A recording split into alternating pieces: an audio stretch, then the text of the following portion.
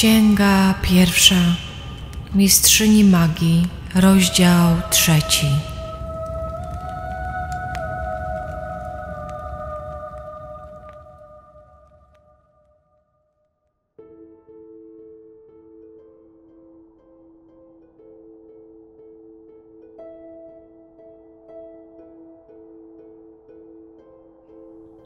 Igrianie wydawało się, że jedzie tak w deszczu już od zawsze. Podróż do Londynium była jak podróż z krańca świata. W życiu prawie nie podróżowała. Wyjątkiem była droga z Avalonu do Tintagel. Porównywała wystraszone i zrozpaczone dziecko z tamtej podróży i dzisiejszą siebie. Teraz jechała u boku Gorloisa, a on zadawał sobie nawet trud, by opowiadać jej o ziemiach, które przemierzali. Śmiała się wraz z nim i żartowała, a nocami z chęcią dzieliła z nim łoże w namiocie.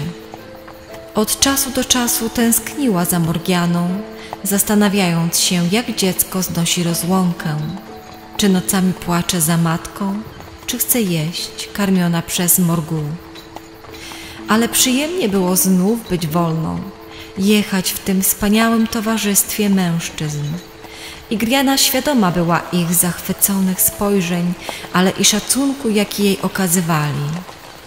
Nie przeszkadzał jej nawet ciągły deszcz, który zakrywał widok odległych wzgórz. Także jechali wciąż w kręgu otaczającej ich mgły. Moglibyśmy zgubić się w tej mgle, zawędrować do czarownej krainy i nigdy już nie wrócić do tego świata, gdzie umierający Ambrozjusz i ambitny Uter planują ocalenie Brytanii od dzikich najeźdźców. Czy jesteś zmęczona, Igriano? Głos Gorloisa był miły i troskliwy. Doprawdy wcale nie był tym ludożercą, jakim wydawał jej się podczas tych pierwszych przerażających dni cztery lata temu.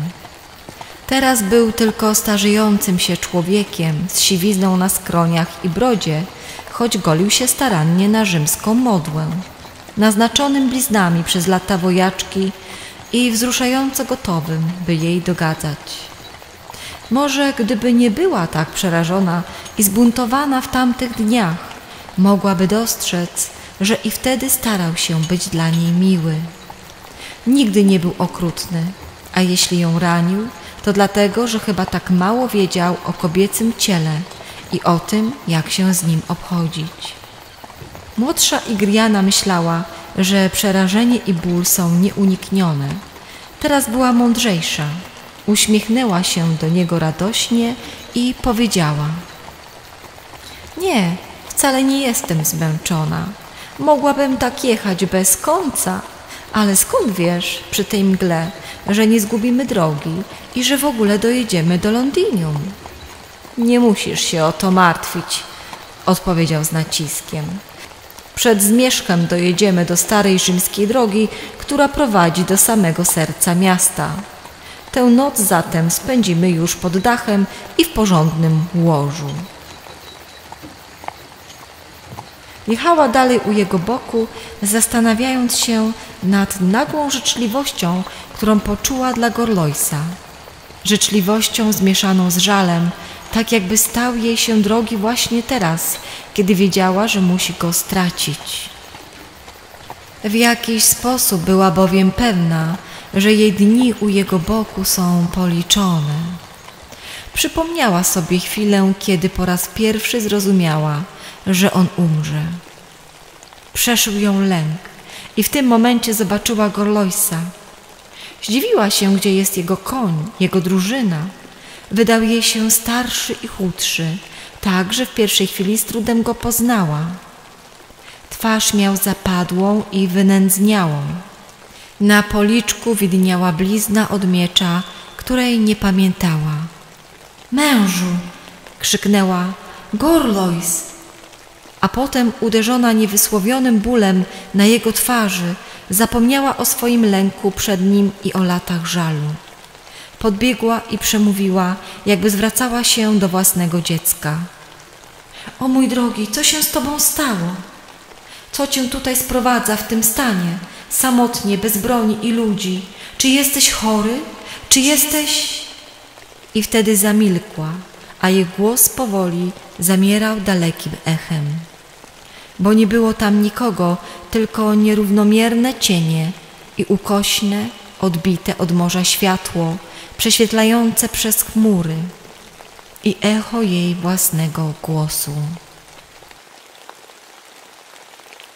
To, co zobaczyła, wiedziała z całą pewnością, mimo iż nigdy w życiu nie widziała jeszcze nic podobnego, było zjawą jej męża, jego sobowtórem i zapowiedzią jego śmierci. A kiedy w końcu przyjechał cały i zdrowy, próbowała otrząsnąć się z tego wspomnienia. Za każdym razem, kiedy za jego postacią dostrzegała znany cień z blizną na policzku, mówiła sobie, że to tylko zwodzi ją gra światła i cienia. Goyrlois nie był bowiem ani ranny, ani smutny. Przeciwnie, miał wspaniały humor. Przywiózł moc podarunków dla niej i nawet sznur koralików dla Morgiany. W podróżnych sakiewkach pełnych saksońskich chłupów wyciągnął także czerwony płaszcz dla Morgu. Bez wątpienia należała do jakiejś saksońskiej ladacznicy, co to jeżdżą za wojskiem, powiedział ze śmiechem, ujmując dziewczynę za brodę. Najwyższy czas, by nosiła go porządna brytyjska panna. Dobrze ci w tym kolorze, siostrzyczko. Morgu chichotała i wdzięczyła się, przymierzając płaszcz. Musimy wydać tę dziewczynę za mąż tak szybko, jak to będzie możliwe, Igriano. Igriana zgodziła się z nim. Nie mogła zapomnieć, że widziała jego śmierć. Nie chciała się kłócić z człowiekiem skazanym. Poza tym ją także drażniło zachowanie Morgu. A więc Gorlois ma umrzeć. Cóż, nie trzeba wcale przepowiedni, by przewidzieć, że mężczyzna, który ma lat czterdzieści i pięć, który przez całe życie walczył z Saksonami, nie dożyje dorastania swoich wnuków, bo jeszcze zacznę się spodziewać, że Gorlois zabierze mnie do Londinium. Ale następnego dnia, kiedy nie śpieszyli się, by wstać od stołu po śniadaniu, a Igriana reperowała szerokie rozdarcie na jego najlepszej tunice, spytał otwarcie: Czy nie zastanawiałaś się, co sprowadziło mnie tak nagle, Igriano? Po minionej nocy miała odwagę spojrzeć mu prosto w oczy z uśmiechem. Czyż powinnam pytać szczęście, dlaczego przywiodło mojego małżonka do domu po roku nieobecności? Mam nadzieję, że oznacza to, iż wybrzeża saksońskie są wolne i znów w brytyjskich rękach. Pokiwał głową i uśmiechnął się. Potem uśmiech znikł. Ambrozjusz Aurelianus jest umierający. Stary orzeł wkrótce odleci, a nie ma pisklęcia, by zajęło jego miejsce.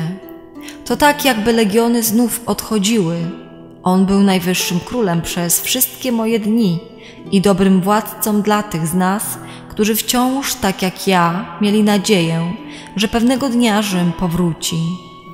Teraz już wiem, że dzień ów nigdy nie nadejdzie.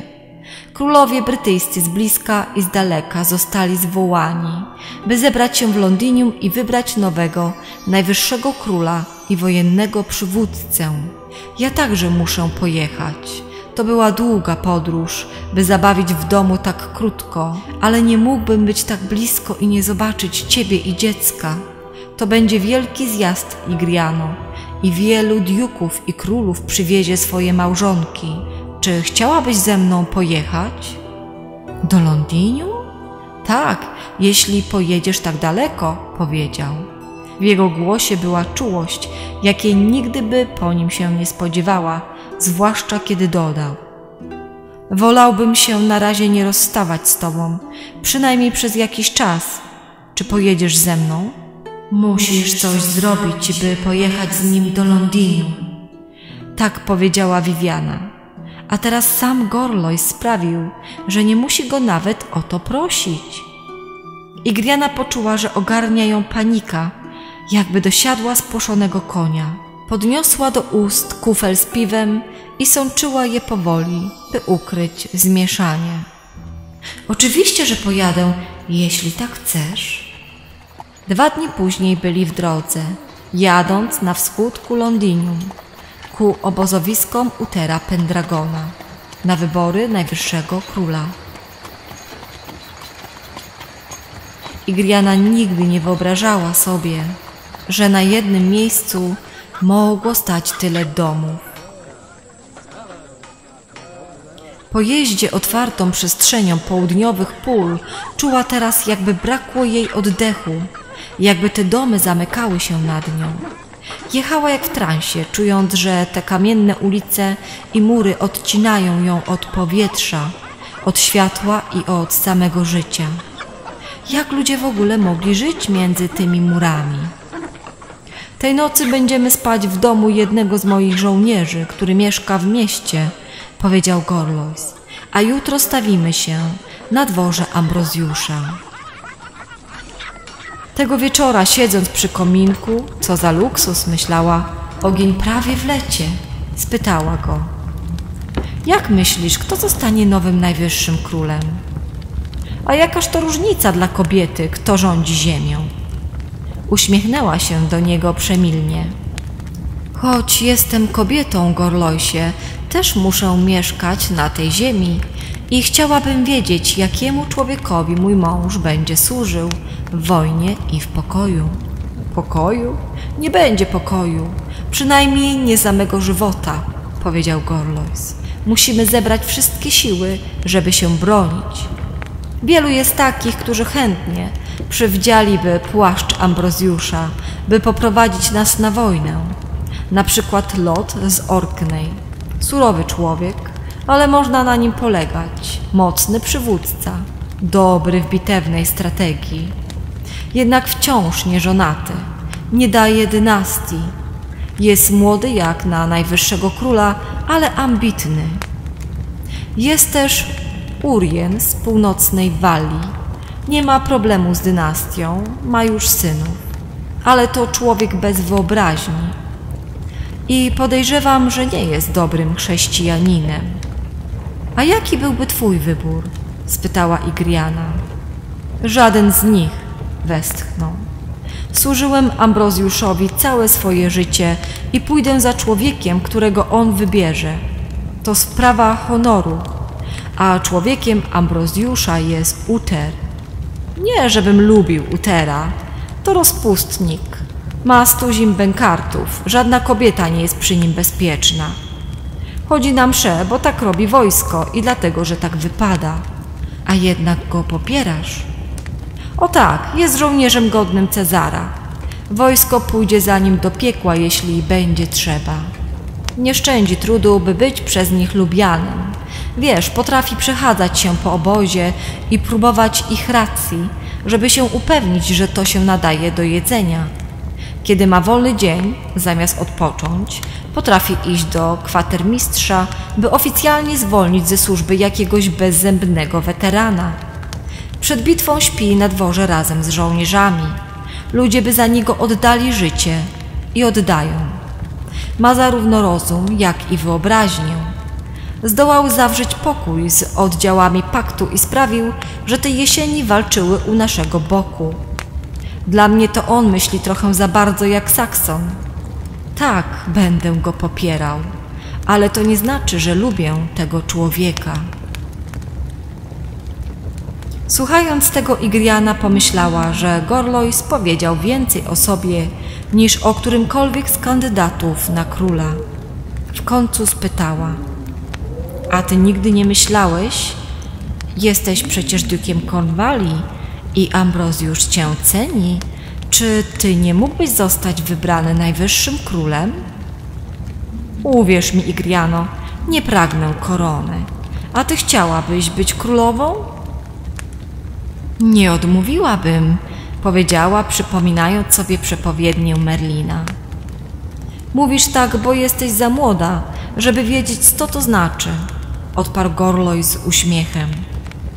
Czy naprawdę chciałabyś rządzić królestwem, tak jak musisz rządzić swymi służącymi w Tintagel, być wciąż na każde zawołanie? Był taki czas, kiedy byłem młodszy, ale nie chcę spędzać reszty życia na wojnie. Ambrozjusz dał mi Tintagel wiele lat temu. Będę bronił tych wybrzeży tak długo, jak będę mógł utrzymać miecz, ale chcę mieć syna, żeby bawił się z moją córką. I trochę spokojnego czasu, by móc łowić ryby, siedząc na skałach.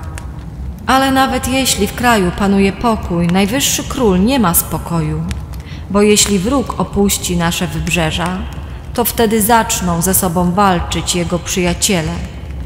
Jeśli już o nic innego, to o jego względy. Nie, nie dla mnie korona, a kiedy będziesz w moim wieku, będziesz się z tego cieszyła. Kiedy Gorlois mówił, Igriana poczuła pieczenie pod powiekami. Więc ten szorstki żołnierz, ten ponury człowiek, którego się bała, teraz czuł się przy niej na tyle swobodnie, by odkryć przed nią swoje marzenia. Z całego serca zapragnęła, by mógł mieć swoje kilka ostatnich lat w słońcu, jak chciał, z dziećmi bawiącymi się obok. Ale nawet tutaj w blasku kominka wydawało jej się, że widzi wszechobecny cień przeznaczenia, które go ścigało. To tylko moja wyobraźnia. Pozwoliłam, żeby słowa Merlina sprawiły, że widzę głupoty, powiedziała sobie, a kiedy Gorlois ziewnął i przeciągnął się, mówiąc, że jest zmęczony drogą, pośpieszyła, by pomóc mu zdjąć ubranie. Prawie nie spała w tym obcym łóżku. Kręciła się i wierciła, słuchając cichego oddechu Gorloisa. Może Merlin i pani jeziora po prostu boją się swoich własnych cieni, myślała. Może Gorlois rzeczywiście będzie miał czas, by zestarzeć się na słońcu. Może zanim zasnął, faktycznie posiał w jej łonie ziarno, z którego wyrośnie syn. Choć oni mówili, że tak się nigdy nie stanie. Ale przed świtem zapadła w męczący sen, śniąc o świecie we mgłach, o brzegu świętej wyspy, coraz bardziej i bardziej rozpływającym się we mgle. Wydawało jej się, że ciężko wiosłuje na łodzi, wycieńczona, szukając wyspy Avalon, gdzie bogini z twarzą Viviany czeka na nią, by zapytać, jak dobrze wypełniła to, co jej kazano.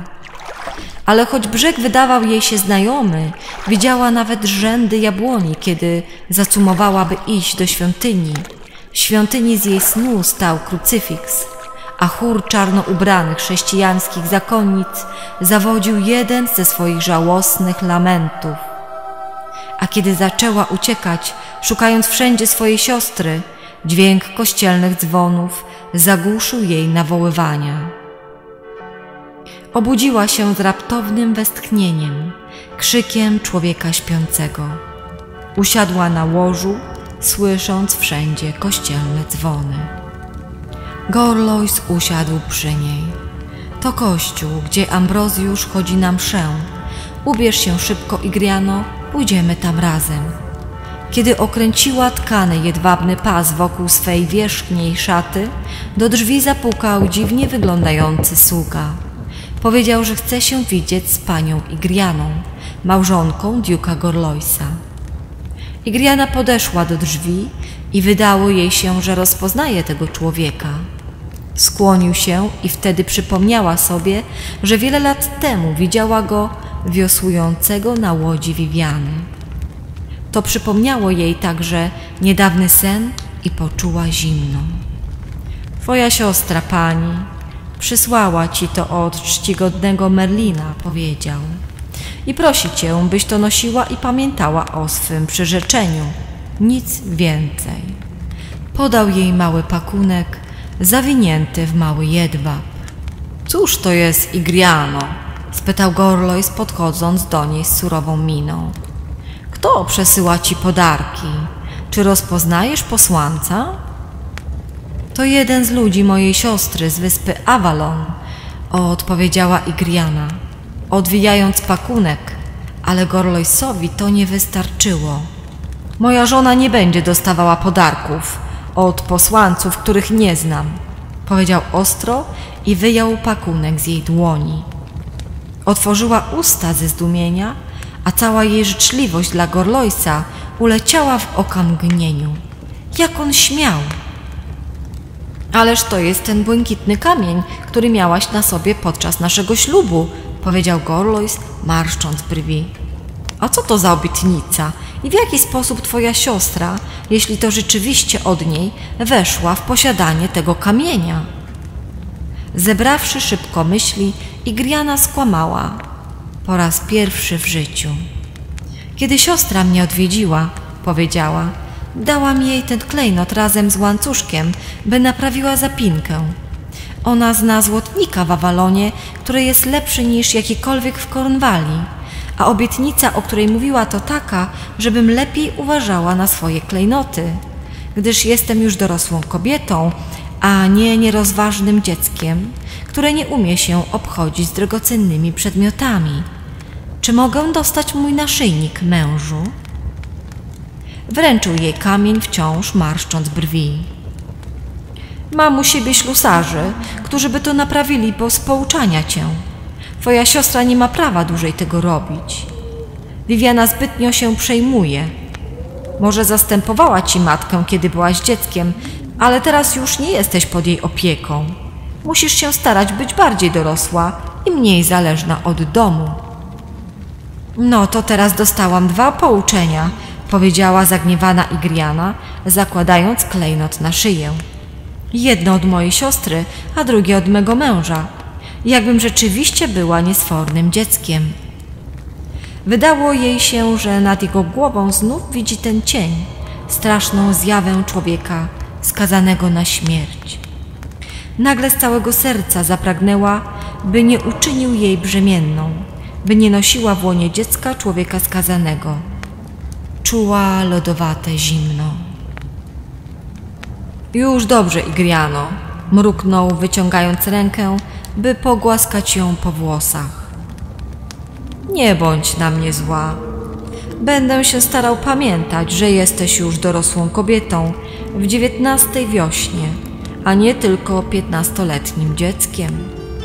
Chodź, musimy się przygotować na królewską mszę, a księża nie lubią, kiedy ludzie wchodzą i wychodzą, gdy msza już się zacznie. Kościół był mały, zbudowany z plecionki narzuconej gliną, a zimne wnętrze rozświetlało światło lamp. Igriana była zadowolona, że włożyła swój gruby wełniany płaszcz.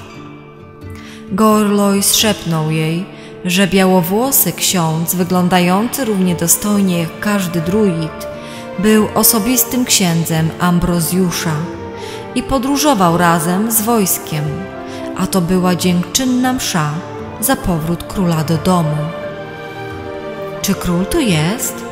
Właśnie wchodzi do kościoła. Idzie na to miejsce przed ołtarzem, szepnął Gorlois, pochylając głowę. Poznała go od razu po ciemnoczerwonym płaszczu, zarzuconym na czarno, bogato haftowaną tunikę i po wysadzanym klejnotami mieczu. Pomyślała, że Ambrozjusz Aurelianus musiał mieć około sześćdziesięciu lat. Był wysokim, szczupłym mężczyzną, wygolonym po rzymsku. Szedł jednak zgarbiony, stawiając kroki ostrożnie, jakby miał jakąś wewnętrzną ranę. Kiedyś może był przystojny, teraz jego twarz była żółta i pomarszczona, ciemne wąsy obwisłe i prawie całkiem siwe, a włosy szpakowate. Obok niego szło dwóch czy trzech doradców lub królów. Chciała się dowiedzieć, kim są, ale kiedy ksiądz zobaczył wchodzącego króla, zaczął czytać ze swojej wielkiej księgi, więc przygryzła wargę i zamilkła. Słuchała mszy, której nawet teraz, po czterech latach pobierania nauk u ojca Kolumby, nie rozumiała do końca i wcale się tym nie martwiła. Wiedziała, że nie wypadało rozglądać się w kościele jak jakaś prostaczka ze wsi, ale spod kaptura swego płaszcza zerkała ukradkiem na mężczyzn otaczających króla. W jednym rozpoznała, jak jej się wydawało, Uriensa z Walii. Był tam też bogato ubrany mężczyzna, smukły i przystojny, z ciemnymi włosami, równo przyciętymi po rzymsku na wysokości brody. Zastanawiała się, czy to nie był Uter, przyjaciel Ambrozjusza i być może jego następca. Przez całą długą mszę stał opiekuńczo u boku Ambrozjusza, a kiedy stary król się potknął, ten smukły, ciemnowłosy mężczyzna podtrzymał go. Patrzył z uwagą na księdza, ale Griana nauczona czytać ludzkie myśli z wyrazu twarzy, wiedziała, że on wcale nie słucha ani księdza, ani mszy, a jego myśli krążą gdzie indziej, wokół jego własnych spraw. Raz tylko podniósł głowę i spojrzał prosto na Gorlojsa. Spotkał też wzrok Igriany. Jego oczy były ciemne, skryte pod grubymi czarnymi brwiami, a Igriana poczuła, że przeszywa ją dreszcz obrzydzenia. Jeśli to jest Uter, postanowiła, że nie chce mieć z nim nic wspólnego. Życie u jego boku to zbyt wielka cena za koronę. Uter musiał być starszy niż wyglądał, bo na oko nie miał więcej lat niż dwadzieścia i pięć. W połowie mszy przy drzwiach zrobiło się lekkie zamieszanie i do środka wszedł wysoki mężczyzna o wojskowym wyglądzie, szeroki w ramionach, lecz kościsty, ubrany w grubą wełnianą pelerynę, jakie noszą ludzie północy. Zanim weszła grupa czterech czy pięciu żołnierzy, Ksiądz mówił dalej, nie przerywając, ale diakon stojący obok niego uniósł głowę z nad swej Biblii i rzucił gniewne spojrzenie. Wysoki mężczyzna odkrył głowę, odsłaniając jasne włosy, już lekko przerzedzone i łysiejące na czubku. Przepychał się wśród stojących wiernych. Ksiądz powiedział: Módlmy się i klękając, Igriana dostrzegła, że ten wysoki, jasnowłosy człowiek i jego żołnierze są bardzo blisko nich. Żołnierze uklękli obok ludzi Gorlojsa, a ten jasnowłosy ukląkł obok niej. Kiedy klękał, rzucił dookoła jedno szybkie spojrzenie, by upewnić się, że jego ludzie mają miejsce. Potem pobożnie pochylił głowę i słuchał modlitw. Nie podniósł głowy ani razu przez całe długie nabożeństwo. Nawet gdy wierni zaczęli podchodzić do ołtarza po swój poświęcony chleb i wino, on nie podszedł. Gorlois dotknął ramienia Igriany i posłusznie poszła u jego boku. Chrześcijanie utrzymywali, że żona winna wyznawać wiarę swojego męża. Ojciec Kolumba długo spierał się z nią o to, jak należy właściwie się modlić i przygotowywać, aż Igriana zadecydowała, że po prostu nigdy nie będzie do tego dostatecznie dobrze przygotowana. Ale gdyby nie podeszła do komunii, Gorlois byłby na nią zły, a poza tym nie mogła zakłócić teraz ciszy w kościele, sprzeczając się z nim nawet szeptem. Wracając na swoje miejsce, z nieprzyjemnym smakiem jałowego chleba i wina w ustach, które musiała przyjąć na głodny żołądek, zobaczyła, że ten wysoki mężczyzna podnosi głowę. Gorlois uprzejmie skinął mu i poszedł dalej. Mężczyzna spojrzał na Igrianę i wydało jej się przez chwilę, że on śmieje się zarówno z niej, jak i z Gorloisa. Poczuła, że też się uśmiecha. Potem na widok karcącego spojrzenia Gorloisa poszła za nim i posłusznie uklękła u jego boku. Ale dostrzegła, że jasnowłosy mężczyzna jej się przygląda. Z jego stroju ludzi północy wnioskowała, że to mógł być lot z Orkney, ten, którego Gorlois nazwał młodym i ambitnym. Niektórzy mieszkańcy północy byli też jasnowłosi, jak Saksonowie, rozpoczął się końcowy psalm. Słuchała słów, nie zwracając jednak na niezbytniej uwagi. Pan zesłał pokutę na swój lud, zgodnie ze swym odwiecznym prawem. Imię Jego święte i straszne, lęk przed Panem to początek mądrości. Gorlois pochylił głowę, przyjmując błogosławieństwo. Tyle się dowiadywała o swym mężu przez te kilka dni. Wiedziała, że jest chrześcijaninem, kiedy za niego wychodziła, ale w tych czasach większość ludzi była chrześcijanami, a nawet jeśli nie byli, to bardzo uważali, żeby tego nie wyjawiać. Z wyjątkiem ludzi mieszkających w pobliżu Świętej Wyspy, gdzie królowała stara wiara, albo między barbarzyńcami z północy lub Saksonami, ale nie wiedziała, że Gorlois był naprawdę pobożny. Błogosławieństwo się zakończyło. Ksiądz i jego diakoni wyszli niosąc swój długi krzyż i świętą księgę. Igriana spojrzała w miejsce, gdzie stał król. Był zmęczony i pożółkły, a kiedy odwrócił się, by opuścić kościół, ciężko wsparł się na ramieniu młodego, ciemnowłosego mężczyzny, który stał przy nim i podtrzymywał go przez większość mszy. Lot z Orkney nie traci czasu, prawda, mój panie Cornwalli? powiedział ten wysoki, jasnowłosy mężczyzna w pelerynie. Nie popuszcza ostatnio łokcia Ambrozjusza i nie zaprzestaje swych starań. A więc, pomyślała Igriana, to nie jest lot z Orkney, jak sądziłam. Gorlois przytaknął sząknięciem.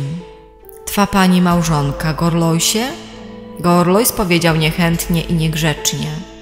Igriano, moja droga, to jest nasz diuk wojny, Uter, którego plemiona zwą Pendragonem, od jego sztandardu. Ukłoniła się, mrugając zaskoczenia. Uter Pendragon, ten niezdarny człowiek, biały jak Sakson? To miał być lord, który zastąpi Ambrozjusza? Ten nieokrzesany prostak, który ośmielił się zakłócać świętą mszę? Tymczasem Uter wpatrywał się, nie jak stwierdziła Igriana, nie w jej twarz, ale w coś poniżej. Spuszczając wzrok, by sprawdzić, czy przypadkiem nie rozlała na suknię mszalnego wina, zrozumiała, że on wpatruje się w księżycowy kamień na jej piersiach. Zirytowana zastanawiała się, czy on nigdy wcześniej nie widział takiego kamienia. Gorlois także zauważył kierunek jego wzroku. Chciałbym przedstawić moją panią królowi. Miłego dnia, mój panie Diuku, powiedział i odszedł, nie czekając na pożegnanie Utera. Kiedy znaleźli się poza zasięgiem jego słuchu, stwierdził: Nie podoba mi się sposób, w jaki on na ciebie patrzy, Igriano.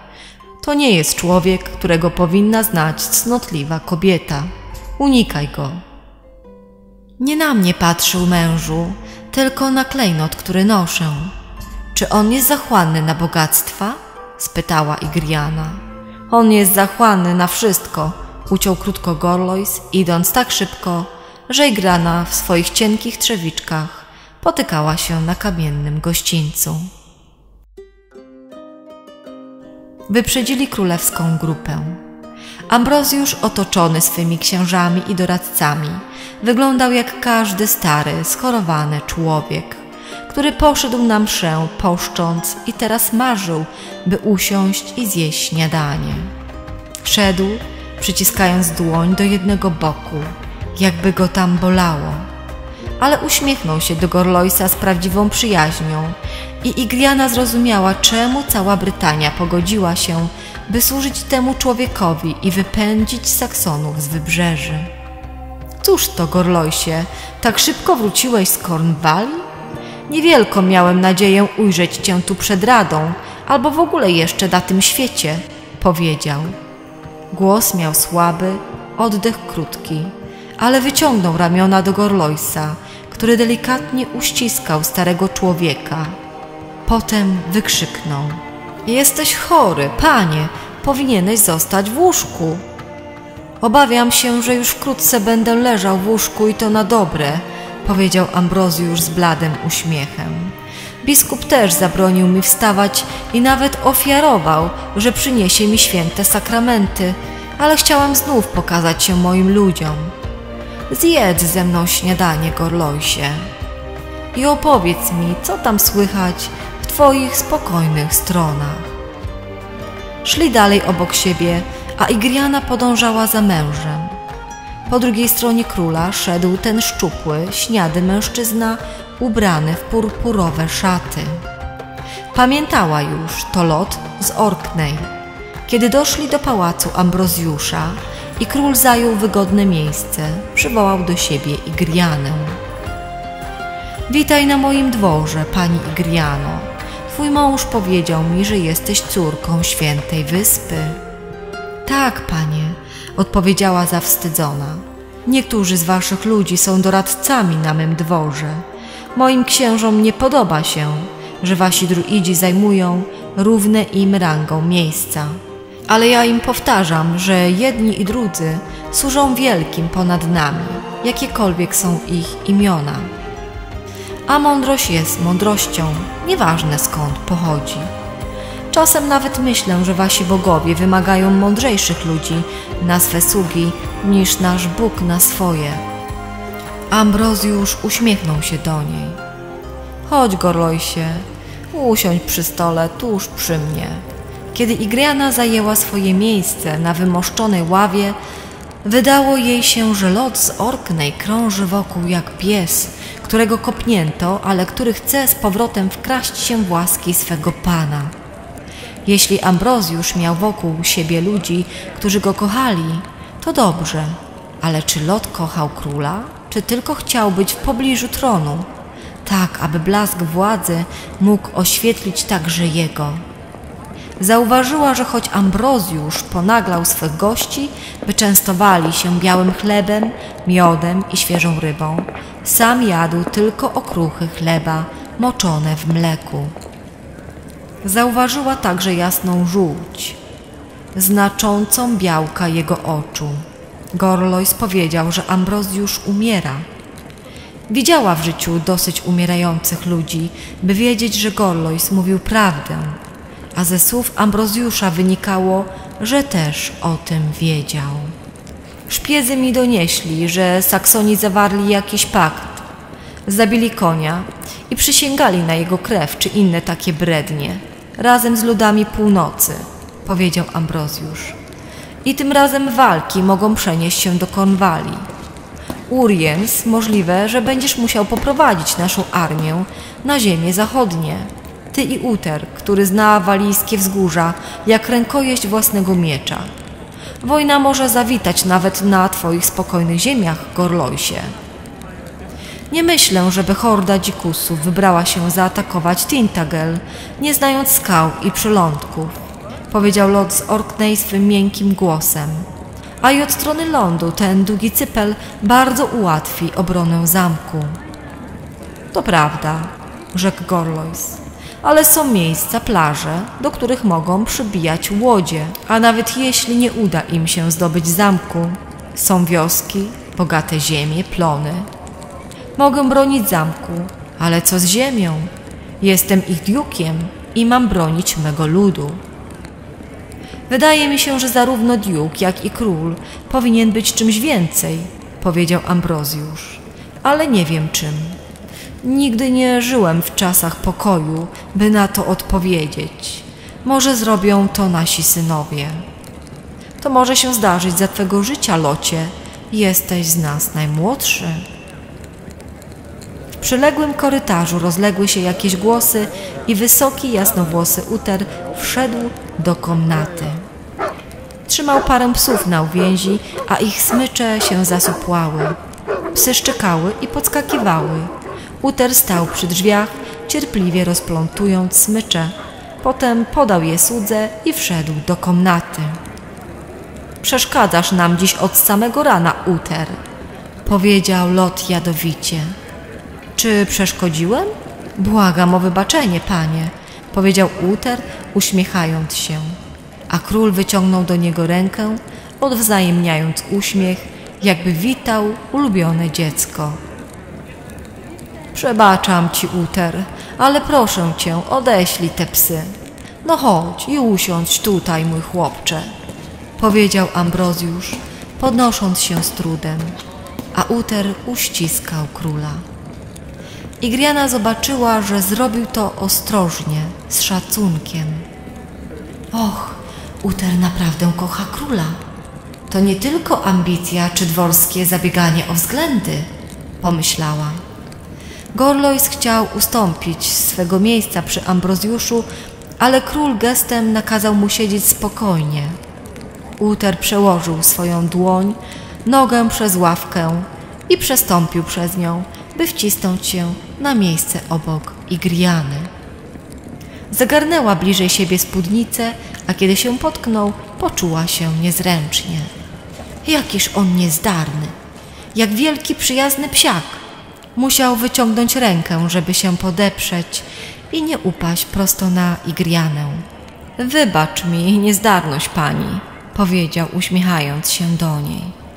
Jestem już chyba za duży, żeby siedzieć na twoich kolanach. Wbrew własnej woli odwzajemniła uśmiech. Nawet twoje psy są na to za wielkie, mój panie Uterze. Sięgnął po chleb i rybę, częstując ją miodem, który nabierał łyżką z dzbana. Grzecznie odmówiła. Nie lubię słodyczy, wytłumaczyła. Nie potrzebujesz ich pani, powiedział, a ona zauważyła, że znów patruje się w jej dekolt. Czy on nigdy nie widział księżycowego kamienia? Igriana poczuła, jak rumieńce oblewają jej skronie i szybko upiła łyk świeżego, zimnego mleka. Był wysoki i jasnowłosy. Skórę miał gładką i bez zmarszczek. Czuła zapach jego potu, świeży i czysty jak u dziecka. A jednak nie był taki znów bardzo młody. Jasne włosy już rzedły na jego opalonych skroniach. Poczuła dziwne skrępowanie, coś, czego nigdy w życiu nie doznała. Jego udo dotykało jej nogi na całej szerokości ławy i była tego bardzo świadoma, jakby noga stała się oddzielną częścią jej własnego ciała. Spuściła oczy i wzięła do ust kęs chleba z masłem, słuchając rozmowy Gorloisa i Lota o tym, co się stanie, jeśli wojna nadejdzie do zachodnich krain.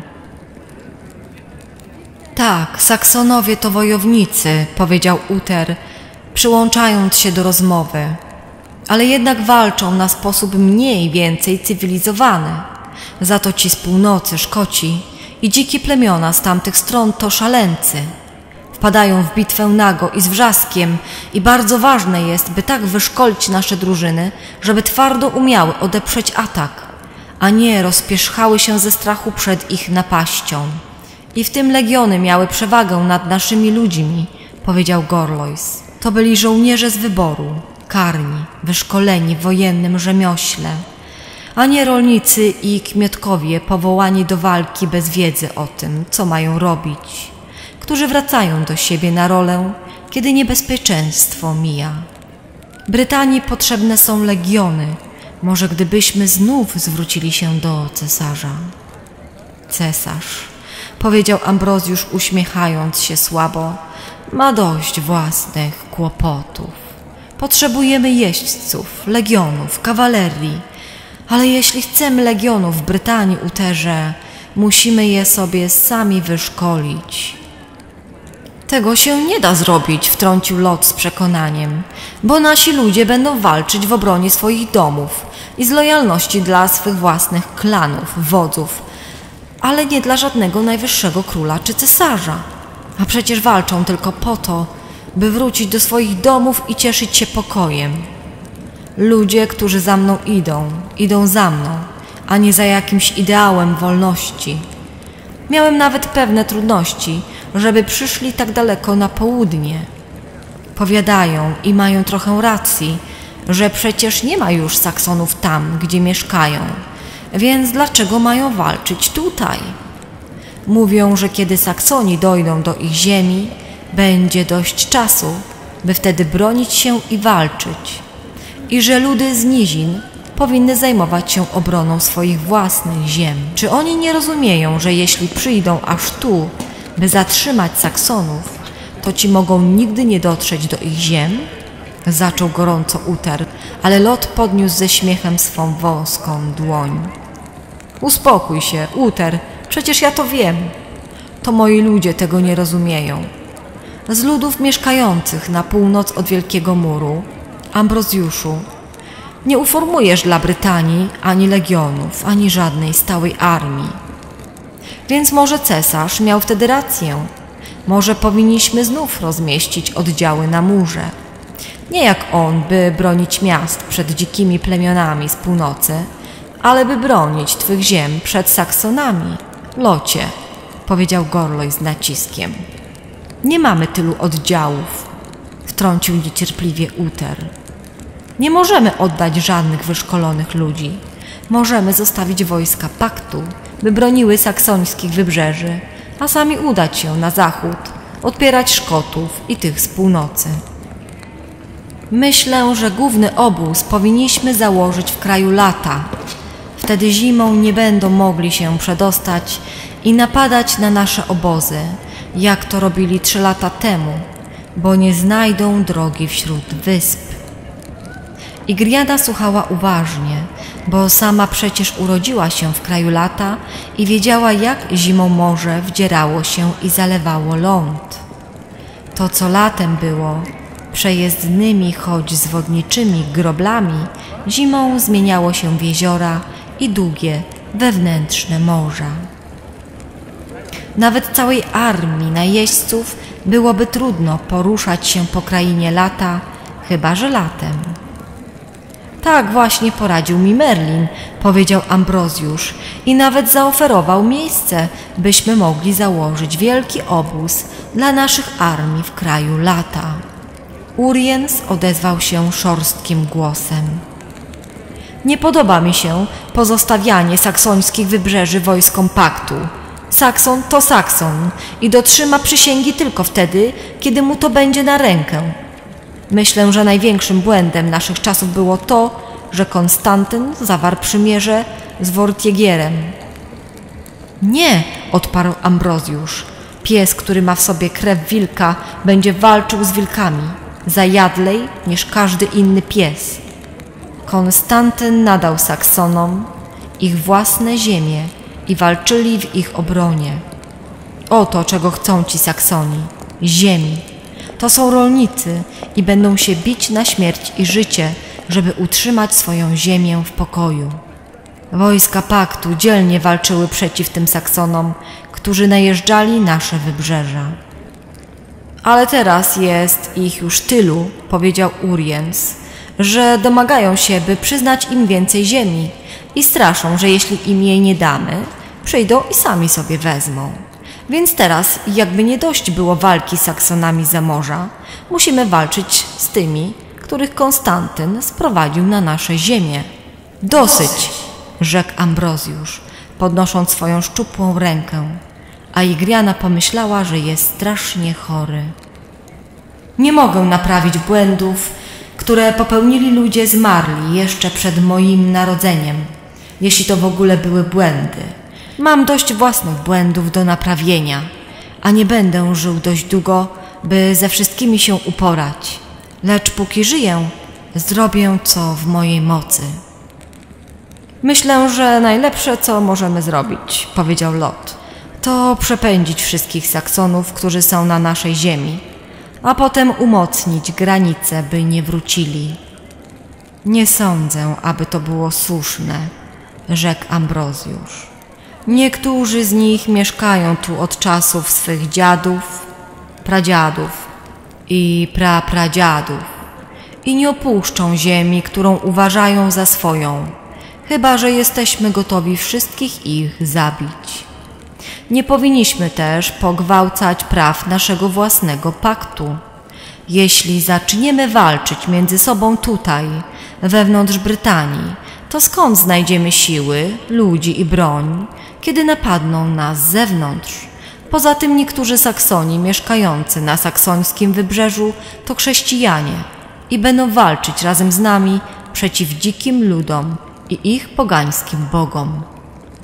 Coś mi się zdaje, powiedział Lot z grymasem uśmiechu, że biskupi Brytanii mieli rację, kiedy odmówili wysłania misjonarzy, by zbawili saksońskie duszyczki na naszym wybrzeżu, mówiąc, że gdyby Saksoni mieli być przyjęci do nieba, to oni z takiego nieba rezygnują. Mamy dość kłopotów z Saksonami na tej ziemi. Czy w niebie też mamy wysłuchiwać ich dzikich wrzasków? Myślę, że nie bardzo rozumiesz pojęcie nieba, powiedział znajomy głos, a Igrianę przeszył dziwny dreszcz rozpoznania. Spojrzała na koniec stołu, na tego, kto się odezwał. Nosił prostą, szarą suknię, trochę jak mnisi habit. Nie poznała Merlina w tym stroju, ale jego głos rozpoznałaby wszędzie. Czy rzeczywiście myśli, że ludzkie swary i niedoskonałości powędrują z nami aż do nieba, locie? Cóż, jeśli o to chodzi, to nigdy nie spotkałem nikogo, kto był w niebie, odpowiedział Lot. I myślę, że ty też nie, panie Merlinie. Ale przemawiasz mądrze, jak jakiś ksiądz. Czyżbyś na starość złożył święte śluby, sir? Merlin roześmiał się. Mam jedną rzecz wspólną z waszymi księżami. Spędziłem w życiu wiele czasu, by rozdzielić sprawy ludzkie od tych, które należą do Boga. I kiedy już skończyłem je rozdzielać, stwierdziłem, że nie ma między nimi znów tak wielkiej różnicy. Tutaj na ziemi nie widzimy tego, ale kiedy pozbędziemy się tego ciała, będziemy wiedzieć więcej i zrozumiemy, że nasze spory nic Boga nie obchodzą. To dlaczego walczymy? spytał Uter i uśmiechnął się szeroko, jakby przekomarzał się ze starcem. Jeśli w niebie wszystkie nasze spory będą wyjaśnione, to czemu nie odłożymy oręża i nie uściskamy Saksonów jak braci? Merlin znów się uśmiechnął i odpowiedział przyjaźnie. Kiedy już będziemy doskonali, tak właśnie się stanie, panie Uterze. Ale Saksoni jeszcze o tym nie wiedzą, a i my też nie. Więc gdy przeznaczenie prowokuje ludzi do walki, cóż, musimy odegrać swoje role w tym doczesnym życiu. Ale potrzebujemy pokoju, by ludzie mogli zacząć rozmyślać o niebie, a nie tylko o bitwach i wojnach. Nie bardzo mi się uśmiecha siedzieć i rozmyślać o niebie, starcze, powiedział Uter ze śmiechem. Zostawiam to tobie i innym księżom. Ja jestem człowiekiem walki. Byłem nim całe moje życie i modlę się, by resztę życia spędzić na wojnie, jak przystoi mężczyźnie, a nie zakonnikowi. Uważaj, o co się modlisz, odrzekł Merlin, patrząc z powagą na Utera. Bo bogowie z całą pewnością ci to dadzą. Nie chcę być stary i myśleć o niebie i pokoju, nie przestawał Uter, bo wydaje mi się bardzo nudne. Chcę wojny i grabieży i kobiet. O tak, kobiet. Ale księżom nie podoba się żadna z tych rzeczy. Nie jesteś więc o wiele lepszy od tych Saksonów, prawda, Uter?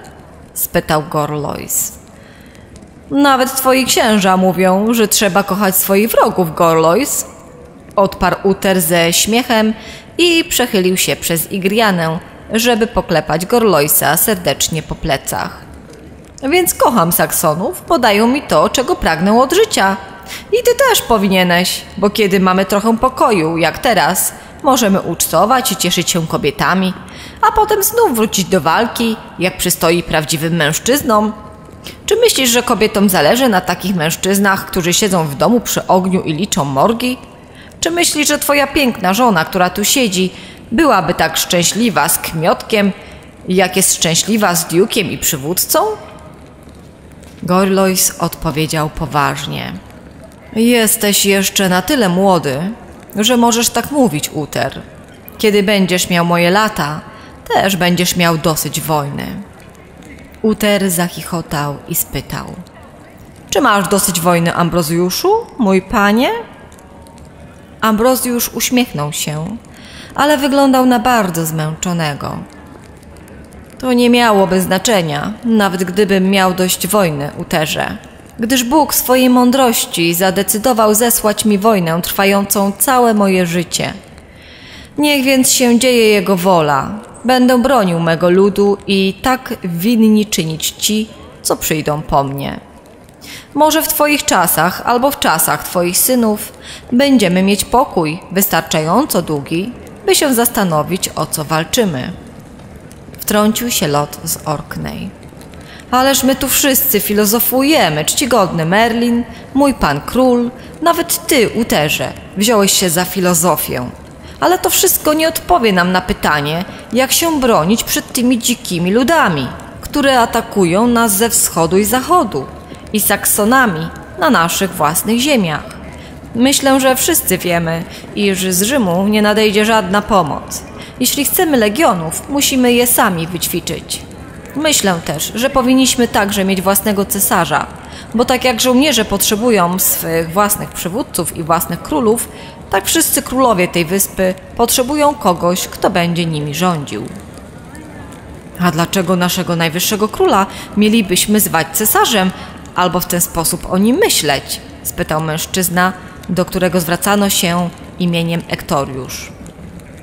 Cesarze w swoim czasie dobrze rządzili Brytanią, ale teraz przekonaliśmy się, na co się przydało ich cesarstwo. Kiedy zaczęły się kłopoty w ich własnej stolicy, wycofali legiony, a nas zostawili na pastwę barbarzyńców, nawet Magnus Maximus. On nie był cesarzem, powiedział Ambrozjusz z uśmiechem. Magnus Maximus chciał zostać cesarzem w czasach, gdy dowodził tutejszymi legionami. To normalna ambicja każdego diuka wojny. Igriana zobaczyła krótki uśmiech, jakim obdarzył Utera ponad głowami innych. Więc zebrał swoje legiony i wyruszył na Rzym, pragnąc, by go ogłoszono cesarzem. Nie był pierwszym ani ostatnim, który tak czyni, mając za sobą armię. Ale nigdy nawet nie dotarł do Rzymu i wszystkie jego ambicje spełzły na niczym. Zostało po nim tylko kilka legend. Czy to nie w twych stronach, wśród wzgórz Walii, opowiadają wciąż o Magnusie Wielkim, który powróci na czele legionów i swym wspaniałym mieczem odeprze wszystkich najeźdźców. O tak, potwierdził Uter. Mówią, że to on jest bohaterem tej legendy z pradawnych czasów. O królu, który był królem i który znów powróci, by uratować swój lud, gdy nadejdzie wielka potrzeba.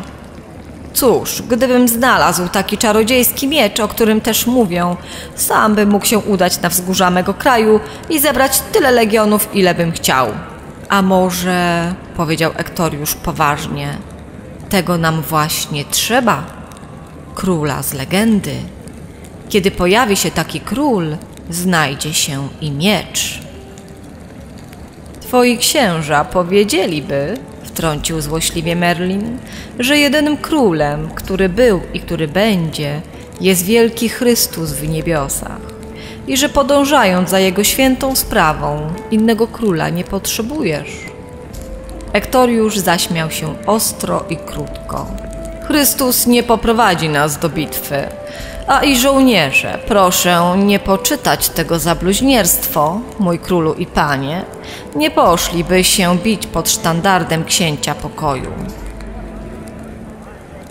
Może winniśmy znaleźć takiego króla, który przypomni ludziom stare legendy, powiedział Uter, a w komnacie zapanowała cisza.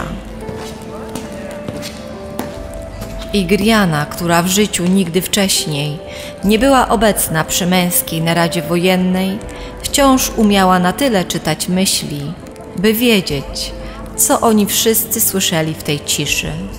Pewność, że obecny najwyższy król, który teraz siedzi wśród nich, nie dożyje następnego lata. Który z nich w przyszłym roku o tej porze będzie zasiadał na jego miejscu? Ambrozjusz oparł głowę na wysokim oparciu swego krzesła. Dla Lota był to pretekst, by odezwać się swym przymilnym głosem zazdrośnika. Jesteś zmęczony, sir? Zmęczyliśmy cię. Pozwól, że zawołam twego szambelana. Ambrozjusz uśmiechnął się do niego miło. Już wkrótce, kuzynie. Odpocznę na dobre. Sam wysiłek mówienia był dla niego zbyt wielki. Pozwalając, by lot pomógł mu wstać od stołu, wydał tylko długie, bolesne westchnienie. Kiedy wyszedł, biesiadnicy rozbili się na grupy, rozmawiając i spierając się cichymi głosami. Do Gorlojsa podszedł człowiek zwany Ektoriuszem. No, no, pan z Orkney nie traci żadnej okazji, by się przypodobać, a ukrywa to pod powłoczką troski o króla. Teraz to my jesteśmy tymi złymi ludźmi, którzy zmęczyli Ambrozjusza i skrócili jego życie. Lota nie obchodzi życie najwyższego króla, odparł Gorlois. Pilnuje tylko, by Ambrozjusz nie miał okazji ustanowić swego kandydata, a wielu z nas, między innymi ja, myślę, że ty także, Ektoriuszu, uszanowałby jego wybór. A czemu nie? Odpowiedział Ektoriusz.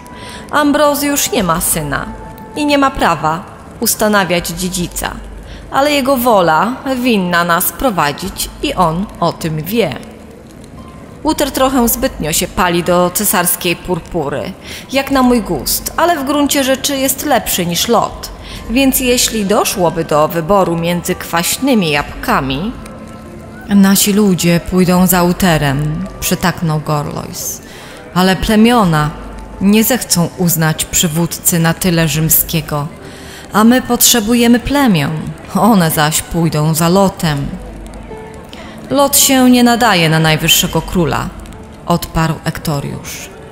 Już lepiej stracić poparcie plemion, niż poparcie wszystkich innych ludów. Sposób lota polega na tym, żeby podzielić nas na skłócone ze sobą obozy, tak by tylko on jeden cieszył się zaufaniem wszystkich. Fu, splunął. Ten człowiek to wąż i na tym koniec. A jednak jest przekonujący, dodał Gorlois. Ma rozum, odwagę i wyobraźnię. To samo ma Uter. I obojętnie, czy Ambrozjusz będzie miał szansę oświadczyć to formalnie, Uter jest człowiekiem, którego on wybiera. Gorlois zacisnął nerwowo szczęki, po czym powiedział: Prawda, prawda, honorem odpowiadam za wypełnienie woli Ambrozjusza, a jednak wolałbym, żeby jego wybór padł na człowieka, którego moralność odpowiadałaby jego odwadze i talentom przywódczym. Nie ufam Uterowi. A jednak pokręcił głową i nagle spojrzał na Igrianę. Dziecko, to z pewnością cię nie interesuje. Każę jednemu z moich ludzi odprowadzić cię do domu, gdzie spędziliśmy noc.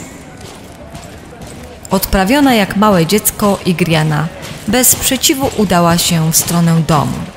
Było około południa. Miała o czym rozmyślać. A więc również mężczyzn, nawet Gorloisa, honor zobowiązywał do robienia tego, czego nie chcieli. Nigdy o tym wcześniej nie myślała, a oczy Utera wpatrzone w nią prześladowały ją w myślach. Jak on na nią patrzył. Nie, nie na nią, na księżycowy kamień. Czy Merlin w jakiś sposób zaczarował klejnot, tak by Uter pożądał kobiety, która go nosiła? Czy muszą poddać się woli Merlina i Viviany? Czy mam być bezwolnie oddana Uterowi, tak jak zostałam oddana Gorloisowi? Poczuła odrazę na tę myśl, a jednak wbrew sobie wciąż czuła dotyk Utera na swej dłoni. Widziała intensywność jego szarych oczu, gdy spotkał jej wzrok. Mogę również dobrze uwierzyć, że Merlin zaczarował kamień tak, bym to ja poczuła pociąg do Utera. Kiedy dotarła do domu, natychmiast zdjęła klejnot i wrzuciła go do sakiewki przytroczonej do paska. Co za głupota, pomyślała. Przecież wcale nie wierzę w te opowieści o miłosnych zaklęciach i amuletach. Była dorosłą, dziewiętnastoletnią kobietą, a nie pokornym dzieckiem. Miała męża i może nawet nosiła już w łonie ziarno, z którego wyrośnie syn, tak przez niego upragniony.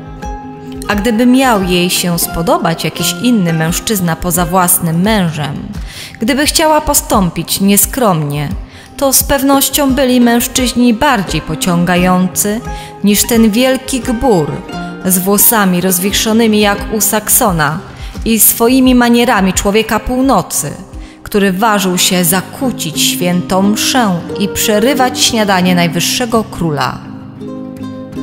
Mogła równie dobrze wziąć do swego łoża tego rycerza, który ją odprowadzał. Przynajmniej był młody, gładki i przystojny. Ale przecież ona, cnotliwa żona, nie miała ochoty brać do łoża żadnego innego mężczyzny poza swym prawowitym małżonkiem. Jeśli już by to zrobiła, to na pewno nie z Uterem. Przecież on byłby jeszcze gorszy niż Gorlois. Taki wielki, niezdarny niedźwiedź.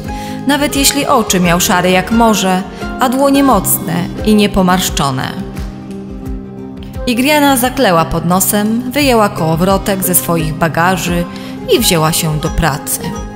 Co ona właściwie wyrabiała, rozmyślając o Uterze, jakby rzeczywiście rozważała możliwość wykonania rozkazu Viviany. Czy Uter naprawdę będzie następnym najwyższym królem? Widziała, jak na nią patrzył. Ale Gorlois mówił, że to rozpustnik. Może patrzył tak na każdą kobietę. Jeśli już musi oddawać się rozmyślaniom, może przecież równie dobrze myśleć o czymś rozsądnym. Jak Morgiana się czuje bez matki, czy gospodyni dobrze pilnuje morgu, żeby nie wodziła cielęcym wzrokiem za żołnierzami pilnującymi zamku. Tak, Morgu mogła na przykład oddać swe dziewictwo jakiemuś przystojnemu mężczyźnie, nawet nie myśląc o honorze i obowiązkach. Cała nadzieja, że ojciec Kolumba odpowiednio ją pouczy. Moja własna matka wybierała takich kochanków, jakich chciała, by byli ojcami jej dzieci a była przecież wielką kapłanką świętej wyspy. Viviana robi to samo. Igriana opuściła wrzeciono na kolana i zmarszczyła brwi. Myślała o przepowiedni Viviany, że jej dziecko z uterem będzie owym wielkim królem, który uzdrowi tę ziemię i pogodzi ze sobą skłócone ludy. To, co usłyszała tego ranka przy królewskim stole, upewniło ją, że na takiego króla przyjdzie im jeszcze poczekać. Rozdrażniona znów chwyciła wrzeciono. Taki król potrzebny był już teraz, a nie dopiero wtedy, kiedy jakieś dziecko, nawet jeszcze niepoczęte, osiągnie wiek męski. Merlin był opętany starymi legendami o królach. Co to było? O czym jeden z królów, chyba Ektoriusz, opowiadał – o Magnusie Wielkim, sławnym przywódcy, który opuścił Brytanię w poszukiwaniu cesarskiej korony?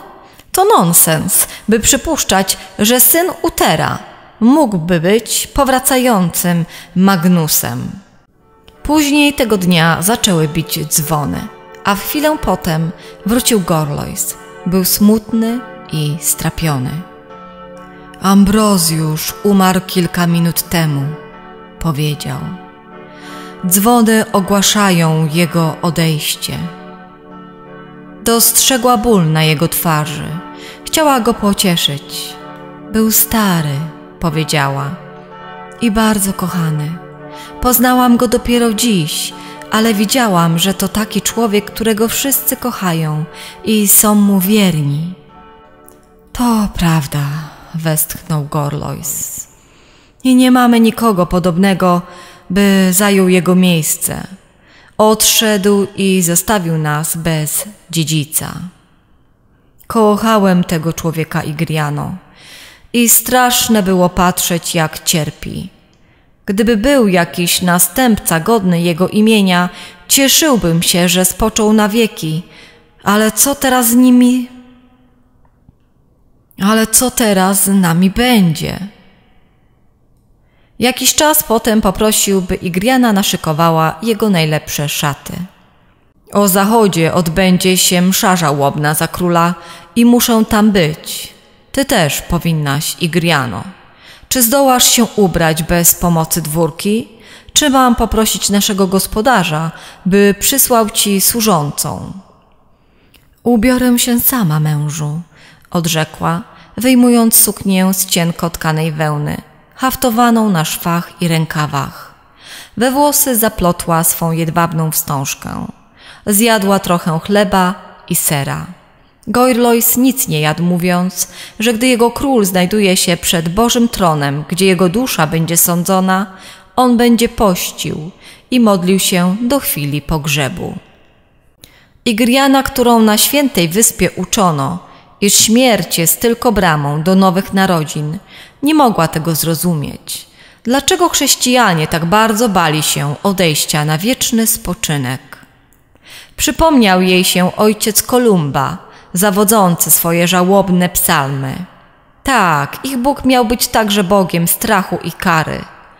Mogła zrozumieć, dlaczego król musiał dla dobra swego ludu czynić rzeczy, które obciążały jego sumienie. Nawet ona mogła to zrozumieć i wybaczyć. Jakże więc miłosierny Bóg mógłby być bardziej fanatyczny i mściwy niż najskromniejszy z jego śmiertelnych? Przypuszczała, że to była jedna z chrześcijańskich tajemnic. Idąc na mszę u boku Gorlojsa, wciąż się nad tym zastanawiała.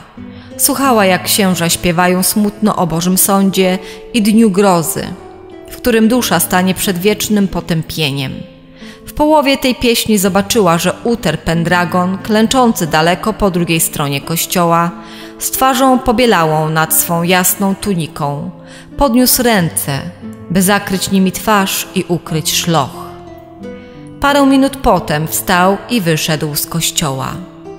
Zauważyła, że Gorlois przygląda się jej z naganą. Schyliła więc głowę, by pobożnie wysłuchiwać niekończących się hymnów.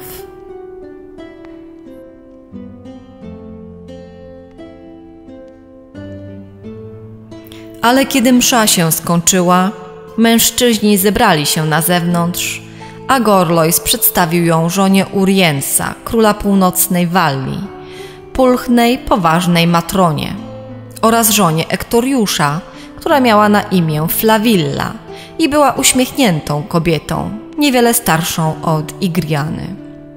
Rozmawiała przez chwilę z kobietami, ale one mówiły tylko o tym, co śmierć Ambrozjusza oznaczała dla żołnierzy i dla ich mężów.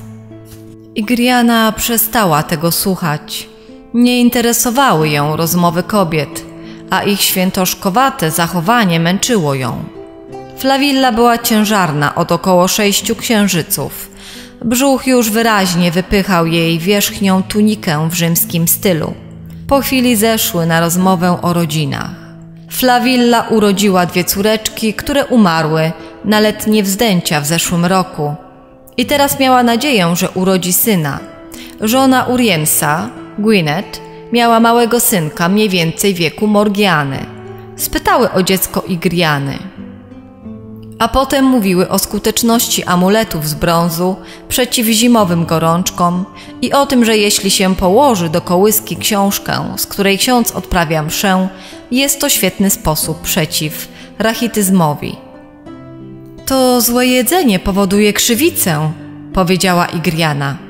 Moja siostra, która jest kapłanką i uzdrowicielką, powiedziała mi, że żadne dziecko, które zsie pierś zdrowej matki przez pełne dwa lata, nie będzie cierpiało na rachityzm.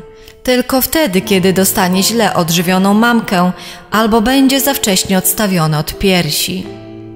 Uważam to za głupi przesąd, powiedziała Gwyneth. Książka mszalna jest święta i bardzo skuteczna przeciw każdej chorobie, ale szczególnie przeciw chorobom małych dzieci, które są chrztem oczyszczone z grzechów swych ojców, a same jeszcze nie popełniły własnych grzechów. Igriana niecierpliwie wzruszyła ramionami. Nie chciała się sprzeczać z kimś, kto mówi takie bzdury. Kobiety dalej rozprawiały o amuletach i zaklęciach na dziecięce choroby, a ona stała rozglądając się dyskretnie na boki, czekając na jakąś okazję, żeby od nich odejść. Po jakimś czasie dołączyła do nich jeszcze jedna kobieta, której imienia Igriana nawet nie znała. Ona też nosiła już wysoką ciążę i kobiety natychmiast wciągnęły nowo przybyłą do swojej rozmowy, nie zwracając przy tym uwagi na Igrianę. Odczekała trochę i mówiąc, choć nikt tego nie słyszał, że idzie poszukać Gorloisa. Po cichu odeszła i skierowała się na tyły kościoła. Był tam niewielki cmentarz, a za nim jabłkowy sad. Gałęzie pokrywała biel kwitnących kwiatów, bladych w świetle księżyca. Zapach jabłoni był świeży i miły Igrianie, dla której odory miasta były okropne. Psy i mężczyźni załatwiali tu swe potrzeby wprost na kamienne ulice. Za każdymi drzwiami był śmierdzący kuchenny śmietnik, pełen wszystkiego, od starych mat cuchnących uryną, gnijącego mięsa, aż do zawartości nocników. Szła powoli przez sad. Niektóre drzewa były bardzo stare, powyginane, z gałęziami zgiętymi nisko do ziemi. Nagle usłyszała cichy dźwięk i zobaczyła, że na jednej z takich niskich gałęzi siedzi człowiek. Nie widział Igriany. Głowę miał opuszczoną, a twarz zakrytą dłońmi. Ale po jasnych włosach poznała, że był to Uter Pendragon. Miała się już odwrócić i cichutko wycofać, wiedząc, że na pewno nie chciałby, by widziała go pogrążonego w rozpaczy, ale usłyszał jej lekkie kroki i podniósł głowę. Czy to ty, moja pani Kornwali? Jego twarz wykrzywił kwaśny uśmiech. Teraz możesz pobiec do swojego dzielnego Gorlojsa i opowiedzieć mu, że brytyjski diuk wojny skrył się, by płakać jak kobieta. Podeszła do niego powoli, zdziwiona jego złą, agresywną miną. Czy myślisz, że Gorlois nie rozpacza, mój panie? spytała. Jakże zimny i bez serca musiałby być człowiek, by nie płakać i nie rozpaczać po królu, którego kochał całe swoje życie. Gdybym była mężczyzną, nie chciałabym iść na wojnę pod takim przywódcą, który nie opłakuje zmarłych, których kochał, poległych druhów, a nawet dzielnych wrogów. Uter wziął długi oddech, wycierając oczy w rękaw swojej tuniki. Cóż, to prawda, odparł. Kiedy byłem młody, zabiłem w bitwie saksońskiego wodza Horsę, z którym przedtem wiele razy walczyłem w bitwach, ale zawsze uchodził z życiem. I opłakiwałem jego śmierć, bo był to szlachetny człowiek. Mimo, że był Saksonem, żałowałem, że musimy być wrogami, a nie braćmi i przyjaciółmi. Ale potem powiedziałem sobie, że jestem już za stary, by rozpaczać nad czymś, czemu nie mogę zapobiec. A jednak kiedy usłyszałem tego świętego ojczulka straszącego sądem i wiecznym potępieniem przed tronem Bożym, i kiedy sobie przypomniałem, jakim dobrym i pobożnym człowiekiem był Ambrozjusz i jak kochał i bał się Boga, i nigdy nie pominął okazji, by zrobić coś dobrego. Czasami ten ich Bóg wydaje mi się nie do zniesienia i omal żałuję, że bez potępienia nie mogę słuchać mądrych druidów, którzy nie mówią o sądach, ale o tym, że człowiek jest rozliczany z tego, w jaki sposób żyje. Jeśli ci święci biskupi mówią prawdę, to Ambrozjusz jęczy teraz w ogniu piekielnym, by nie być zbawiony aż do końca świata. Niewiele wiem o niebie, ale chciałbym, by to tam był mój król. Wyciągnęła do niego rękę, mówiąc cicho. Nie myślę, aby księża Chrystusa wiedzieli cokolwiek więcej o tym, co się dzieje po śmierci, niż wie każdy śmiertelny człowiek. Tylko bogowie to wiedzą. Na świętej wyspie, gdzie się wychowałam, zawsze nam mówiono, że śmierć to tylko wrota do nowego życia i większej mądrości. I chociaż nie znałam dobrze Ambrozjusza, chcę wierzyć, że jest on teraz u stóp swego Boga i pobiera nauki o tym, czym jest prawdziwa wiedza. Jakiż mądry Bóg skazałby człowieka na piekło za niewiedzę, zamiast nauczyć go, jak postępować lepiej w następnym życiu. Poczuła dotknięcie ręki Utera na swej dłoni. Usłyszała jego głos w ciemności. Cóż, może tak jest. Jeden z ich apostołów powiedział przecież: Teraz widzę jak przez szkło niewyraźnie, ale po śmierci ujrzę twarzą w twarz. Być może nie wiemy, nawet księża nie wiedzą, co dzieje się po śmierci. Jeśli Bóg jest wszechwiedzący, dlaczego mielibyśmy myśleć, że jest mniej łaskawy niż ludzie? Powiadają, że Chrystus był do nas zesłany po to, by pokazać Bożą miłość, a nie Jego sądy. Przez jakiś czas siedzieli w milczeniu, potem Uter zapytał: Gdzie nauczyłaś się takiej mądrości, Griano? Mamy święte kobiety w naszym kościele, ale one nie są zamężne ani nie przebywają między nami, grzesznikami. Urodziłam się na wyspie Avalon, a moja matka była kapłanką wielkiej świątyni. Avalon, powiedział, leży na morzu lata, prawda? Byłaś dziś na radzie, pani. Wiesz, że mamy tam jechać. Merlin obiecał mi, że zabierze mnie do króla Leodegranza i przedstawi na jego dworze. Jednak jeśli lot z Orkney postawi na swoim, to ja i Urien powrócimy do Walii jak wyjące psy z podwiniętymi ogonami, albo będziemy walczyć u jego boku i oddamy mu cześć, a to uczynię nie prędzej niż słońce wzejdzie nad zachodnim wybrzeżem Irlandii. Gorlois powiedział, że z pewnością to ty, panie, zostaniesz następnym najwyższym królem. Powiedziała Igriana i uderzyło ją nagle, że oto siedzi tu na gałęzi drzewa z następnym królem Brytanii, rozprawiając o religii i sprawach stanu. On też o tym pomyślał. Wyczuła to w jego głosie, kiedy powiedział – Nigdy nie myślałem, że będę rozmawiał o takich sprawach z małżonką Duke'a Cornwalli. Czy naprawdę sądzisz, że kobiety nic nie wiedzą o sprawach stanu? spytała.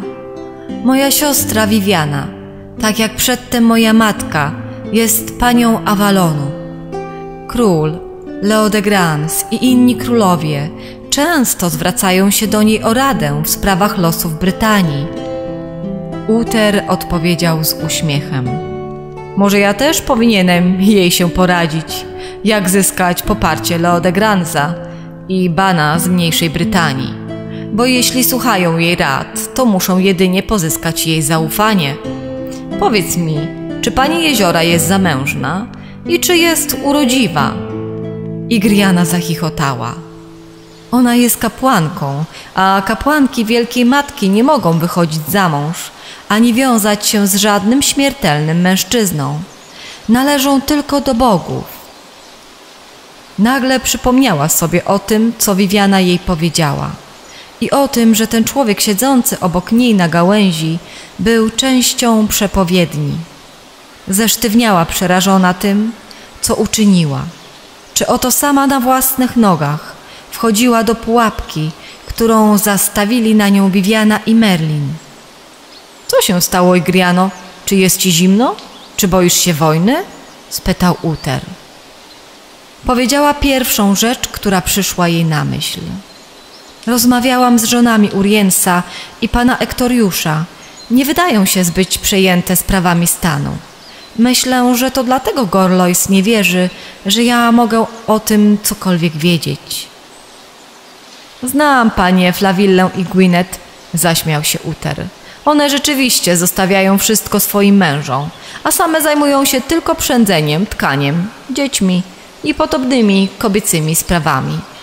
Czy ty się tym nie interesujesz, pani? Czy też jesteś taka młoda, na jaką wyglądasz? Za młoda niemal, by być poślubioną, a to dopiero mieć dzieci, którymi się musisz martwić. Jestem mężatką od czterech lat, odpowiedziała Igriana. I mam córeczkę, która ma trzy lata. Powinienem zazdrościć Gorloisowi. Każdy mężczyzna chce mieć dziedziców. Gdyby Ambrozjusz miał syna, nie bylibyśmy teraz w takim kłopocie. A teraz Uter westchnął. Nie chcę nawet myśleć, co stanie się z Brytanią, jeśli ta żaba z Orkney zostanie najwyższym królem. Ale oddałbym wszystkie swoje ambicje, żeby tylko Ambrozjusz mógł teraz siedzieć razem z nami na tej gałęzi. Albo choćby jego syna, który mógł być dziś w nocy koronowany w tym oto kościele. Ambrozjusz bał się tego, co się stanie, gdy odejdzie.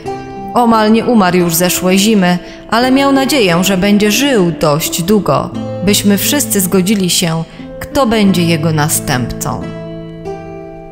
Jak to się stało, że nie miał synów? Och, miał synów, nawet dwóch. Jednego zabili Saksoni.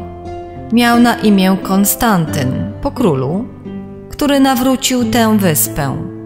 Drugi zmarł na gorączkę, kiedy miał zaledwie dwanaście lat. Ambrozjusz wciąż powtarzał, że ja stałem się synem, jakiego chciał mieć. Uter ukrył znów twarz w dłoniach i zaszlochał. Chciał zrobić mnie również swym spadkobiercą, ale inni królowie nie chcieli o tym słyszeć. Uznawali mnie jako diuka wojny, ale byli zazdrośni o moje wpływy. Najgorszy był ten przeklęty lot. Być najwyższym królem, nie dla ambicji, Griano, przysięgam, ale po to, by dokończyć to, czego nie zdążył Ambrozjusz. Myślę, że wszyscy to wiedzą, powiedziała, głaszcząc jego dłoń. Czuła się porażona jego rozpaczą. Zastanawiam się, czy byłoby zgodne z jego wolą, żebym zamordował Lota, by przyjąć władzę. Kiedyś kazał nam zaprzysiąc braterstwo krwi i tej przysięgi nie złamię, powiedział Uter. Jego twarz była wilgotna od łez. Igriana chwyciła swój cienki welon i osuszyła mu oczy, jakby był jej dzieckiem. Oślepił ich nagły blask pochodni. Igriana zamarła na gałęzi, welon wciąż trzymała przy twarzy Utera. Czy to ty, panie Pendragonie? spytał ostry głos Gorloisa. Czy nie widziałeś? O, pani, ty tutaj? Igriana zaskoczona i wobec tego ostrego głosu Gorloisa ogarnięta nagle poczuciem winy, zeskoczyła z gałęzi. Jej suknia zahaczyła o wystający sęk i zadarła się, odsłaniając jej lniane pantalony. Pośpiesznie pociągnęła suknię w dół i usłyszała trzask rozrywanej tkaniny. Myślałem, że się zgubiłaś. Nie było cię w naszej kwaterze, powiedział Gorlois ochryple. Co ty tu robisz? Na niebiosa! Uter ześlizgnął się z gałęzi. Jego głos zabrzmiał mocno i zdecydowanie. Cóż, Gorloisie, znudziły mnie te księże zawodzenia i wyszedłem poszukać świeżego powietrza, wolnego od pobożnych pieśni. A twoja pani, która stwierdziła, że trajkotanie dobrych niewiast niezbyt leży w jej guście, tu się na mnie natknęła Pani, dziękuję ci, powiedział, oddając jej ukłon i odszedł. Spostrzegła, że uważał, by trzymać twarz bezpiecznie poza światłem pochodni. Gorlois, teraz sam na sam z Igrianą, spojrzał na nią podejrzliwie. Gestem rozkazał jej iść przed sobą. Moja pani, powinnaś być ostrożniejsza, by uniknąć plotek. Powiedziałem ci, byś trzymała się z dala od Utera. On ma taką reputację, że żadna cnotliwa kobieta nie powinna być przyłapana na rozmowie z nim na osobności. Igriana odwróciła się ze złością. To tak właśnie o mnie myślisz, że jestem kobietą, która ukradkiem wymyka się, by parzyć się z obcym mężczyzną na dworze jak zwierzę. Czy myślisz może, że łączyłam się z nim na tej gałęzi drzewa jak jakiś ptaszek? A może chcesz obejrzeć moją szatę, czy nie jest pognieciona od leżenia z nim na ziemi? Gorlois podniósł rękę i uderzył ją, niezbyt mocno, w usta. Nie będziesz przede mną odgrywała złośnicy, pani. Kazałem ci go unikać i masz mi być posłuszna. Wierzę, że jesteś uczciwa i cnotliwa ale nie ufam temu mężczyźnie. Nie chcę też, byś dostała się na języki kobiet. O, z pewnością, nikt nie ma bardziej zdrożnych myśli niż te wasze dobre kobiety. Gorsi są jeszcze tylko książęta, powiedziała z wściekłością. Masowała usta w miejscu, gdzie uderzenie Gorloisa rozcięło jej wargę o zęby. Jak śmiesz podnosić na mnie rękę? Jeśli cię zdradzę, możesz mi nawet odbić mięso od kości, ale nie będę bita za słowa. Czy ty sobie wyobrażasz na wszystkich bogów, że my rozmawialiśmy o miłości? A o czym na Boga mogłaś o tej porze rozmawiać z tym mężczyzną? Rozmawialiśmy o wielu rzeczach, powiedziała Igriana. Najwięcej o Ambrozjuszu w niebie. Tak, o niebie i o tym, czego człowiek może się spodziewać po śmierci. Gorloj zrzucił jej podejrzliwe spojrzenie. Nie bardzo w to wierzę, przecież on nawet nie potrafi okazać zmarłemu szacunku, zostając na świętej mszy. W obliczu Boga wszyscy jesteśmy tylko nędznymi grzesznikami, Griano, a w oczach Chrystusa król nie znaczy więcej niż każdy śmiertelnik. Tak, tak, przerwała niecierpliwie. Słyszałam, co mówią wasi księża i zadają sobie nawet wiele trudu, żeby nam w kółko powtarzać, że Bóg jest miłością i jest naszym dobrym Ojcem w niebie. Jednak zauważyłam, jak bardzo uważają, żeby samemu nie wpaść w Jego ręce. Powtarzam ci, Uter, rozmawialiśmy o tym, co ci księża wiedzą o niebie i ja jestem zdania, że niewiele. Jeśli ty i Uter rozmawialiście o religii, był to z pewnością jedyny raz w jego życiu, kiedy ten przyziemny człowiek to robił, odburknął Gorlois. On płakał, Gorloisie, powiedziała Igriana. Płakał za królem, który był dla niego jak ojciec. I jeśli siedzenie i słuchanie tego kociego zawodzenia księży jest okazywaniem zmarłemu szacunku, to oby nikt mi nigdy takiego szacunku nie okazywał. Zazdroszczę Uterowi, że jest mężczyzną i mógł po prostu wyjść, kiedy chciał. Z pewnością, gdybym się urodziła mężczyzną, nigdy bym nie siedziała spokojnie, ale ja nie mogłam wyjść, bo zawlókł mnie tam mężczyzna, dla którego ważniejsi są księża i ich psalmy niż ten, który zmarł. Doszli już do drzwi swojej kwatery. Gorloj z twarzą pociemniałą od gniewu wepchnął ją brutalnie do środka. Nie będziesz się do mnie zwracała tym tonem, pani, albo naprawdę cię wychłostam. Igriana zdała sobie sprawę, że w złości obnażyła zęby jak dzika kotka, a jej głos zasyczał złowrogo. Dotknij mnie tylko na swoją zgubę, Gorlois, a już ja cię nauczę, że córka świętej wyspy Avalon nie jest niczyją sługą ani niewolnicą. Gorlois otworzył ze złością usta, by odpowiedzieć i przez chwilę Igriana myślała, że znów ją uderzy. Ale z widocznym wysiłkiem opanował złość i odwrócił się od niej. Nie wypada, abym stał tu i wrzeszczał, gdy mój król i pan leży jeszcze niepochowany. Możesz spędzić tutaj noc, jeśli nie boisz się spać sama.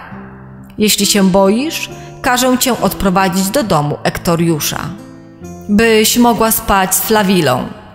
Moi ludzie i ja będziemy pościć i modlić się do wschodu słońca, kiedy to Ambrozjusz zostanie złożony do ziemi na spoczynek. Egriana patrzyła na niego z zaskoczeniem i dziwną rosnącą pogardą. A więc ze strachu przed duchem zmarłego, choć ukrywał to pod pretekstem szacunku, i tak o tym myślał, nie będzie jadł ani pił, ani leżał z kobietą, aż jego król nie zostanie pochowany. Chrześcijanie twierdzili, że są wolni od przesądów druidów, ale mieli swe własne przesądy. Igriana pomyślała, że te przesądy są groźniejsze, bo przeciwne naturze. Była bardzo zadowolona, że tej nocy nie będzie musiała kłaść się z Gorlojsem. Nie, powiedziała, nie boję się spać